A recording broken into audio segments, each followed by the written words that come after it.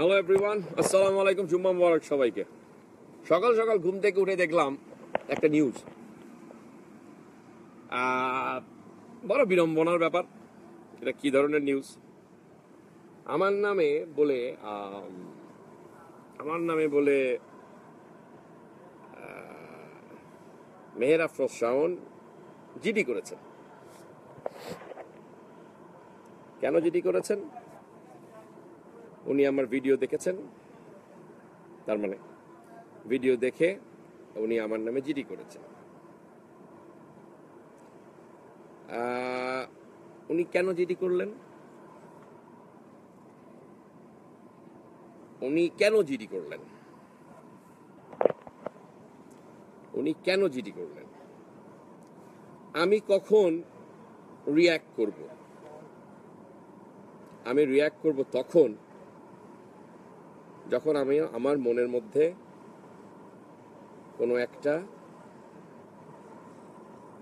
Confusion থাকবে, যখন আমি মনে করব ইয়েস আমি সত্যিকার অর্থে সৎ না, আমার মধ্যে প্রবলেম আছে।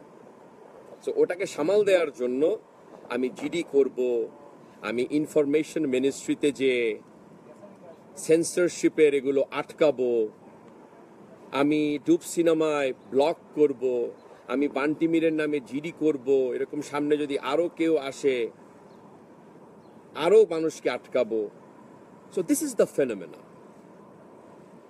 কিছুক্ষণ আগে আমার মা আমাকে ফোন করলেন, আমার মা ওয়ারিড আমার মা বলছেন, বাবা, তোমার নামে তো মামলা করছে, এই করছে, সেই করছে। আমি বললাম, মা এগুলো নিয়ে টেনশন করো না। আমার জন্য সে খুবই একজন ক্ষুদ্রতর প্রাণী, ক্ষুদ্রতর। তা বাংলাদেশের জন্য সে অনেক বড় হতে পারে। আমার জন্য অনেক ক্ষুদ্র একটা প্রাণী সে। এবং যে থানায় যে আপনি জিডি করেছেন, আমি আপনাকে বলছি, সে থানার মানুষও আপনাকে চেনে। পুরো বাংলাদেশ আপনাকে চেনে যে আপনি কি করেছেন, আমি আপনাকে আবারও বলছি। Now coming to the next point ধরে নেন coming to the next point which is the most vital সবাই আমাকে বলতেছে যে, তুই এরকম কেন করলি? কেন এটা এরকম করলি? কেন গালাগালি করলি? ওকে হ্যাঁ আমি গালাগালি একটু এক্সেসি করে ফেলছি। এটা আমার করা উচিত হয়নি। একটু বেশি করে ফেলছি। বিকজ টু মাচ ইমোশনাল হয়ে গেছিলাম এই জন্য গালাগালি করে ফেলছি। এখন now coming to the point আমি গালাগালি কেন করলাম?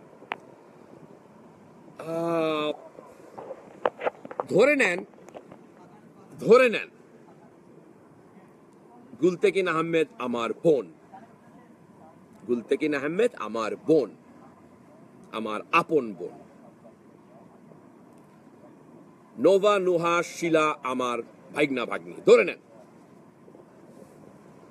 এখন আমার বোনের সাথে যদি এমন কিছু হয়, তখন আমি তাই কি করব? অবভিয়াসলি কিছু তো গালাগালি খাবেই। সেই মানুষ তো কিছু গালাগালি তো খাবেই। সিম্পল এখন প্রশ্ন উঠবে, এত বছর পরে কেন?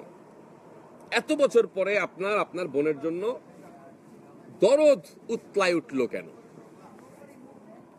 আপনার এত বছর পর দরদ উতলায়।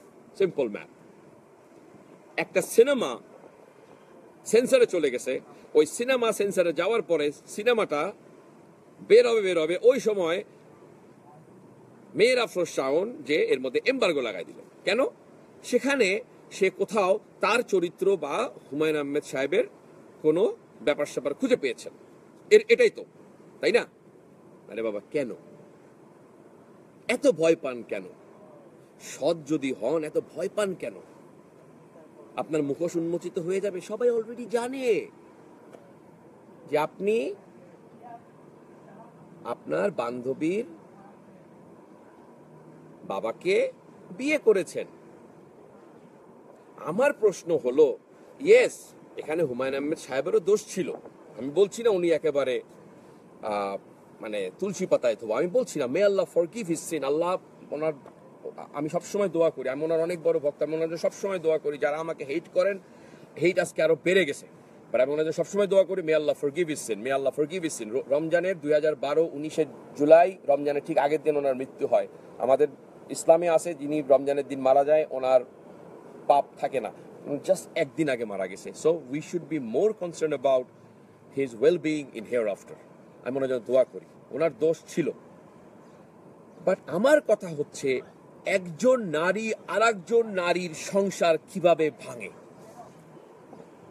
আমি পুরুষ, আমি তো যাইতেই পারি। আর আরেকজন নারী আরেকজন নারী, শাওন তখন ছোট ছিল। শাওনের আম্মা কীভাবে এটাকে অ্যাকসেপ্ট করল, এটাকে পারমিট করল যে গুলতেকিন আহমেদের ওই ফ্যামিলিকে ব্রেক করার জন্য। মেজাজ তো ওই জায়গায় খারাপ হয়।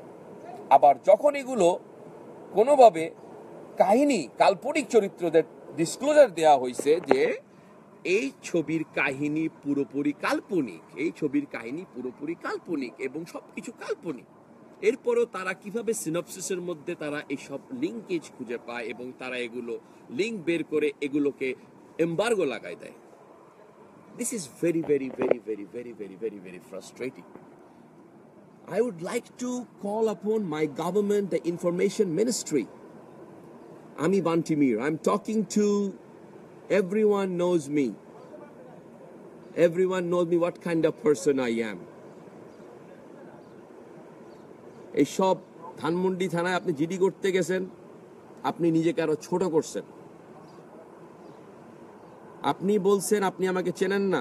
ইয়েস আমি কখনো বলি না আমি আপনাকে চিনি পার্সোনালি এবার আপনি যাদের সাথে উঠা বসা করেন, তারা সবাই আমাকে চেনে। এটা তো মিথ্যা না আপনি অ্যামাজন ক্লাবে বারো বারো বারোতে আপনি কেক কাটছেন, আপনার হাজবেন্ড মারা যাওয়ার পাঁচ মাস পরে আপনি যাই নাচানাচি করছেন। এবং আপনি কোনার টেবিলে বসে ওয়াইনও খাইছেন, এটা তো মিথ্যা না। Whatever that's your personal thing এখন কথা হচ্ছে, আমার গালিটা একটু বেশি হয়ে গেছে। গালিটা একটু বেশি হয়ে গেছে, বেশি গেছে কিন্তু আপনি যে জিডিটা করলেন আমার নামে, এটা জিডিটা করে আপনি আপনার নিজেকে ছোট করছেন। আমি কি? আমি তো কিছু না। আপনি অনেক বড় সেলিব্রিটি আপনি আমাকে অ্যাটেনশনে নিছেন। তার মানে কি? আমি যা বলছি তা সত্য। পুরো বাংলাদেশ জানে। আপনি কীরকম? পুরো বাংলাদেশ চেনে আপনাদেরকে। একজন নারী আর একজন নারীর সংসার কীভাবে ভাঙে, এই জন্য খারাপ লাগছে আমার। এই জন্য আমার খারাপ লাগছে।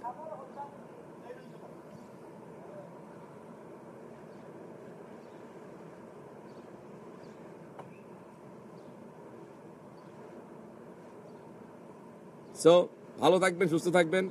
এরকম জিডি জিডি করছেন, যাদের কাছে জিডি জিডি করছেন যায়, তারাই আপনারা নিয়ে হাসতেছে থাকে হ্যাঁ? এরকম আরও বিশটা করেন। হ্যাঁ?